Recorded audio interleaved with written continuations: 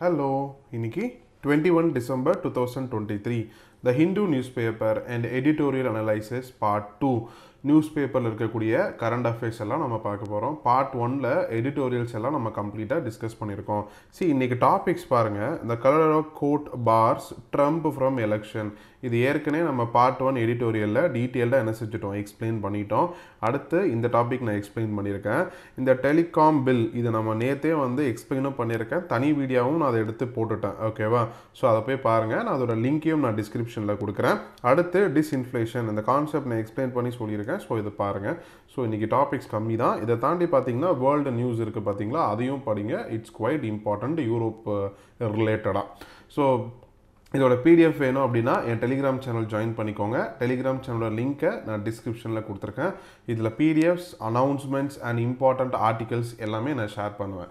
So வாங்க டிஸ்கஷனுக்குள்ளே போகலாம் first topic Lok Sabha passes bill to replace British era criminal laws C ஆக்சுவலாக லோக்சபாவில் என்ன பண்ணாங்க அப்படின்னு சொன்னால் மூணு கிரிமினல் லாஸ் இருக்குது என்னென்னா Indian penal code Indians evidence act code of criminal procedure so இது எல்லாத்தையுமே நிறைய சேஞ்சஸ் அதாவது அமெண்ட்மெண்ட்ஸ் கொண்டு வந்திருக்காங்க. ப்ளஸ் இதோட நேமையும் சேஞ்ச் பண்ணியிருக்காங்க. இதோட நியூ நேம் பார்த்திங்கன்னா பாரதிய நியாய சன்ஹிதா பில்லு இதுவே இந்தியன்ஸ் எவிடன்ஸ் ஆக்டுக்கு பாரதிய சாக்ஷியா அப்படின்னு சொல்லி ஒரு bill code of criminal procedure அதாவது சிஆர்பிசிக்கு பாரதிய நாகரிக் சுரக்ஷா சன்ஹிதா பில். ஸோ எல்லாம் ஹிந்தியில் தான் இருக்குது புரியாது. ஜஸ்ட் ஒரு தடவை ரீட் பண்ணிக்கோங்க. ஸோ இது எல்லா சேஞ்சஸோட அமெண்ட்மெண்ட்டை வந்து லோக்சபாவில் என்ன செஞ்சுருக்காங்க? பாஸ் பண்ணியிருக்காங்க டிஸ்கஸும் பண்ணியிருக்காங்க எந்த மாதிரி பாஸ் பண்ணியிருக்காங்கன்னா வாய்ஸ் ஓட்டில் தான் என்ன செஞ்சுருக்காங்க? பாஸ் பண்ணியிருக்காங்க ஸோ என்ன சொல்கிறாங்க அமித்ஷாவே சொல்லியிருப்பாங்க. நிறைய பேர் கலானியல் டைமில் வந்த லா ஸோ இதில் நிறைய கலானியல் மைண்ட் செட்டில் இருக்கக்கூடிய லாஸ் எல்லாத்தையுமே நாங்கள் ரிமூவ் பண்ணிட்டோம் அப்படின்னு சொல்லியிருக்காங்க. ப்ளஸ் நாங்கள் என்ன பண்ணியிருக்கோம் ஃபஸ்ட் டைம் வந்து டெரரிசமை வந்து உள்ளே இன்க்ளூட் பண்ணியிருக்கோம் அதே நேரத்தில் செடிஷனை நாங்கள் என்ன செஞ்சுருக்கோம்? தூக்கியிருக்கோம் அப்படின்னு சொல்லியிருக்காங்க. மாப் லிஞ்சிங் அதுக்கு பனிஷ்மெண்ட் கொடுத்துருக்கோம். அதுவும் பை டெத் அப்படின்னு சொல்லியிருக்காங்க. சி இதுக்கு முன்னாடி டெரரிசம் அப்படின்னு சொன்னால் உப்பா அப்படிங்கிற ஒரு ஆக்ட் தனியாக போடப்பட்டிருக்கோம். இந்த சிஆர்பிசி இதெல்லாம் வந்து பெருசாக உள்ளே எழுதியிருக்காரு. டெரரிசம்னா என்ன ஏதுன்னு சொல்லிட்டு.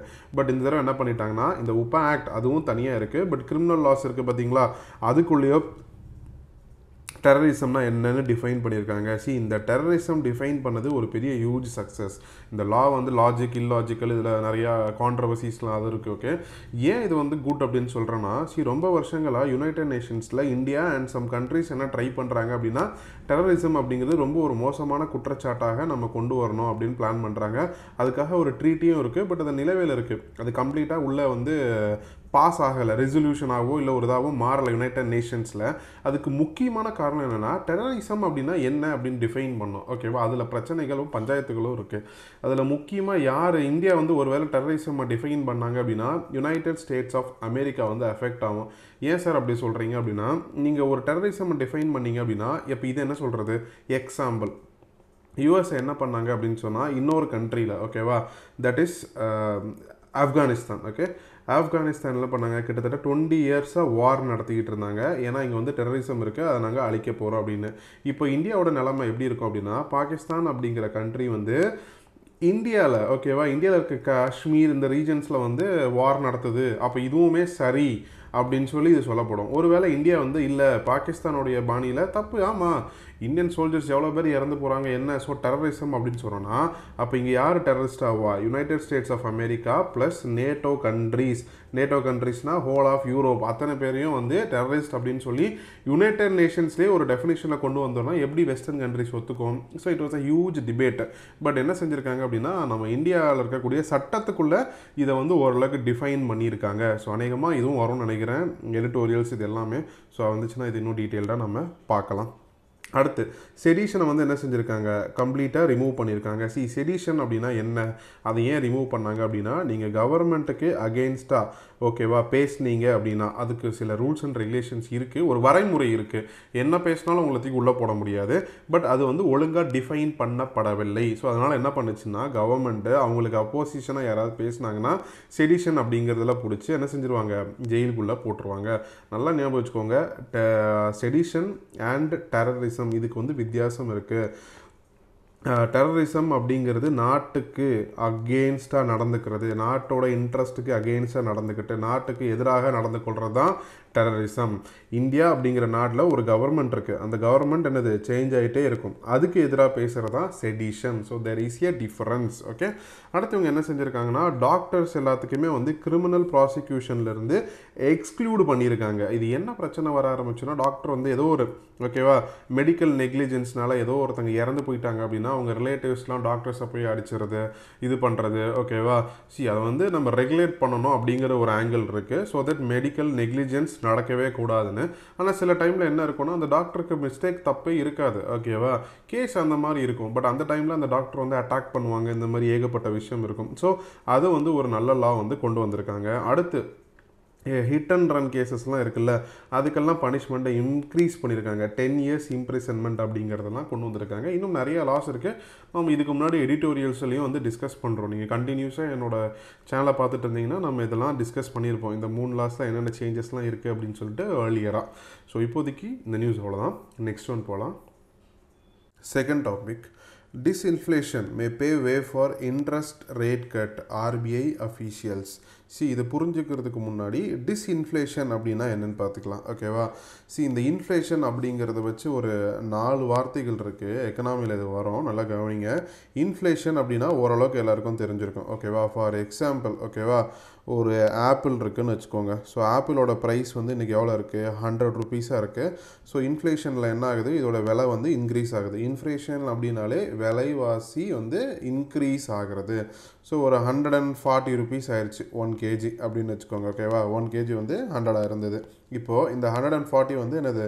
ஓரளவுக்கு விலை வந்து டிக்ரீஸ் ஆகுது. That is one twenty rupees per KG அப்படின்னு ஆகுது. ஸோ இன் டி இது இந்த இந்த டிக்ரீஸ் ஆகுது பார்த்தீங்களா விலை கூடுனதுலேருந்து ஓரளவுக்கு குறையுது பார்த்தீங்களா அதுதான் டிஸ்இன்ஃப்ளேஷன் அப்படின்னு சொல்லுவாங்க. சரிங்களா? இப்போ இந்த டின் டிஸ்இன்ஃப்ளேஷன் என்ன பண்ணோம் அப்படின்னா ஒரு பாயிண்ட் ஆஃப் டைமுக்கு மேலே ரொம்ப அதிகமாக குறைஞ்சிரும். அதுக்கான ரீசன் என்ன அப்படின்னா சி இந்த ஸ்டேட் இருக்குல்ல இந்த ஸ்டேட் இன்ஃப்ளேஷன் ஸ்டேட் அது வந்து எக்கனாமியில் ரொம்ப ரொம்ப இம்பார்ட்டண்ட்டான ஸ்டேட் சரியா? ஒரு ஃபார்மராக நீங்கள் யோசிச்சு பாருங்கள் ஒரு பிஸ்னஸ் மேனாக யோசிச்சு பாருங்கள் இன்ஃப்ளேஷன் ஆகி ஓகேவா நான் இங்கே ஆப்பிளோட எக்ஸாம்பிள் சொல்ல இங்கே ஆனியனோட எக்ஸாம்பிள் சொல்கிறேன் சரியா? ஸோ ஆனியன் விலை வந்து ஒரு கேஜி வந்து எவ்வளோ ஆச்சு அப்படின்னு சொன்னால் நாற்பது ரூபா ஐம்பது ரூபா மீடியமாக இருக்கும். திடீர்னு பார்த்தீங்கன்னா நூற்றி அறுபது ரூபா நூற்றி எழுபது ரூபா ஆயிரும். ஸோ ஃபார்மர்ஸ் என்ன நினைப்பாங்கன்னா நல்ல விலை அதிகமாக இருக்கே. ஸோ நம்ம என்ன பண்ணுவோம் அப்படின்னா இந்த தடவை ஆனியனை அறுவடை பண்ணுவோம் அப்படின்னு சொல்லிட்டு எக்ஸாம்பிள் ஆயிரம் பேர் ஓகேவா ஆயிரம் பேர் போட்ட இடத்துல இன்னைக்கு ரெண்டாயிரம் பேர் என்ன செய்வாங்க? ஆனியனை அறுவடைக்கு போட ஆரம்பிச்சிருவாங்க விவசாயத்துக்குள்ள. ஸோ தேவை மார்க்கெட்டில் தேவையை விட அதிகமான ஆனியன் வந்து என்னது? அவைலபிலிட்டி இருக்கும். ஸோ தன்னை போல் என்ன செய்யும்? ப்ரைஸ் வந்து குறைய ஆரம்பிச்சிடும் சி ப்ரைஸ் சேஞ்சஸ் அப்படிங்கிறது கம்ப்ளீட்டாக டிமாண்ட் அண்ட் சப்ளையை பொறுத்து தான் ஸோ இந்த இடத்துல பாருங்கள் ஆனியனோட டிமாண்ட் ஆயிரம் பேர் போட்டிருக்காங்க. ஒரு பேர் ஒரு பேர் வந்து ஒரு டன். எல்லாமே எக்ஸாம்பிள் ஓகேவா ஸோ ஆயிரம் டன் இருக்குது ஓகேவா ஸோ தௌசண்ட் டன் இருக்குது பட் ஆனால் மார்க்கெட்டில் எவ்வளோ டிமாண்ட் இருக்குது ஓகேவா டிமாண்ட் அப்படின்னு நான் மென்ஷன் பண்ணுறேன் டிமாண்ட் எவ்வளோ இருக்குது தௌசண்ட் டூ ஹண்ட்ரட் டன் வந்து எனது தேவைப்படுது. பட் இங்கே தௌசண்ட் தான் இருக்குது ஸோ யார் அதிகமாக விலை கொடுக்குறாங்களோ அவங்களுக்கு என்ன செய்யும்? ஆனியன் போய் சேரும். ஸோ அதனால் என்ன ஆயிரும் அப்படின்னு சொன்னால் சப்ளை பண்ணக்கூடிய அக்ரிகல்ச்சர்ஸ் யூஸ்வலாக அக்ரிகல்ச்சர்ஸ் இருக்க மாட்டாங்க. மிடில்மேன் இருப்பாங்க. சரியா? ஸோ மிடில்மேன் எவ்வளோ விலை வைக்கிறாங்களோ அது போய் சேரும். ஸோ இதை பார்த்துட்டு என்ன பண்ண போகிறாங்க நிறைய ஃபார்மர்ஸ் நானும் ஆனியன் போடுறேன் அப்படின்னு வருவாங்க. ஸோ சப்ளையில் எவ்வளோ இருந்துச்சு? தௌசண்ட் டன் இருந்துச்சு. இப்போ ரெண்டாயிரம் பேர் போட்டதுனால என்ன ஆச்சு டூ தௌசண்ட் டன் ஆனியன் வந்து இன்றைக்கி மார்க்கெட்டில் அவைலபிளாக இருக்குது பட் டிமாண்ட் எப்பயுமே எவ்வளோ? தௌசண்ட் டூ ஹண்ட்ரட் டன் தான். மேபி கொஞ்சம் மேலே கீழே thousand two hundred ten thousand two hundred twenty ஏன்னா பாப்புலேஷனை பொறுத்து தானே. பாப்புலேஷன் வந்து திடீர்னு ஒரு மாதத்துல இன்க்ரீஸ் ஆகாது. It takes time so demand எவ்வளோ இருக்குது தௌசண்ட் டூ ஹண்ட்ரட் டன் தான் டிமாண்ட் இருக்குது ஸோ இப்போ என்னது? தேவை. எவ்வளோ தேவையோ அதை விட என்னது? சப்ளை அதிகமாக இருக்குது ஸோ ஆட்டோமேட்டிக்காக ப்ரைஸ் என்ன ஆகும்? சப்ளை ப்ரைஸ் வந்து செம்மையாக டவுன் ஆகும். அப்படி தான் இந்த டிஸ்இன்ஃப்ளேஷன் அப்படிங்கிற ஒரு விஷயம் வந்து நடக்கும். சரியா? ஸோ ஒன் டுவெண்ட்டி ஆகும். அண்ட் ஒன் டுவெண்ட்டியை விட ரொம்ப லோவாக போக ஆரம்பிச்சிடும் அதாவது நூறு கிலோ இருக்குல்ல நூறு கிலோ விட லோவாக போய் எழுபது கிலோ அப்படின்னு வந்து ஆப்பிள் விற்க ஆரம்பிச்சிடும் அதுக்கு காரணம் என்ன? ரெண்டாயிரம் பேர் லாபம் கிடச்சிருமே நம்மளுக்கு அப்படிங்கிற ஒரு நோக்கத்தினால உள்ளே வராங்க. ஸோ ஆக்சுவல் ப்ரைஸை விட என்னது? குறையுது பார்த்தீங்களா அதுதான் டீஃப்ளேஷன் அப்படிம்பாங்க. ஸோ அகைன் என்ன பண்ணுவாங்க? அடப்போப்பா லாபமே இல்லை அப்படின்னு சொல்லிட்டு அடுத்த சீசனுக்கு வந்து ரெண்டாயிரம் பேர் போக மாட்டாங்க. ஒரு ஆயிரம் ஆயிரத்தி இரநூறு பேர் என்ன செய்வாங்க? ஃபார்மர்ஸ் வந்து நம்ம போடலாம் அப்படிம்பாங்க. ஸோ இந்த சப்ளை அண்ட் டிமாண்ட் அப்படிங்கிறது ஓரளவுக்கு பேலன்ஸாக இருக்கும். ஸோ மறுபடியும் என்ன? எழுபது ரூபா போன ஆப்பிள் வந்து தொண்ணூறுலேருந்து நூற்றி பத்து ரூபா ஓகேவா ஆக்சுவலாக என்னது? ஹண்ட்ரட் கேஜி ஹண்ட்ரட் ருபீஸ் இருந்துச்சுல்ல பர் கேஜி ஸோ அந்த விலைக்கு வந்து ஏற ஆரம்பிச்சிடும் அதுதான் ரீஃப்ளேஷன் அப்படிம்பாங்க. இந்த நாளுக்குள்ளே தான் சுற்றி சுற்றி என்னது? ஓடிக்கிட்டு இருக்கும். இப்போ இந்த இது உங்களுக்கு புரிஞ்சிருக்கும். ஓகேவா இந்த டீஃப்ளே டிஸ் இன்ஃப்ளேஷனை வந்து இன்னொன்று என்ன சொன்னால் ஸ்லோ இந்த ரேட் ஆஃப் இன்ஃப்ளேஷன் அப்படின்னு சொல்லுவாங்க.